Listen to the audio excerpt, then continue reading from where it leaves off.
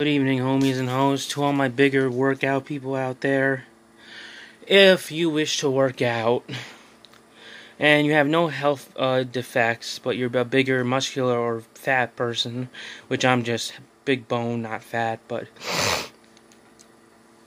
point is, if you're big bone like me, or you're strong, muscular, but bigger, you work out and you don't want to worry about while you're working out hard about having a heart attack these things you can ask for, you legally don't need to have them unless you have the uh, like like um asthma, but you can order them in case just to cuz I don't have any uh of that that asthma defect, but you can get it one for like a free or 99 cents I think.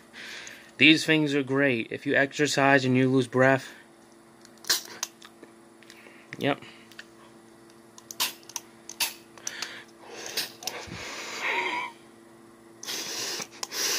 That's how they work. But um, yeah, um, even if you don't have asthma, even if you don't, and you're a big guy working out, strong, muscular or not, fat, muscular or not, try to ask your doctor for one of these. I forget what they're called. Um, the breath breathalyzer things. Hey Trish.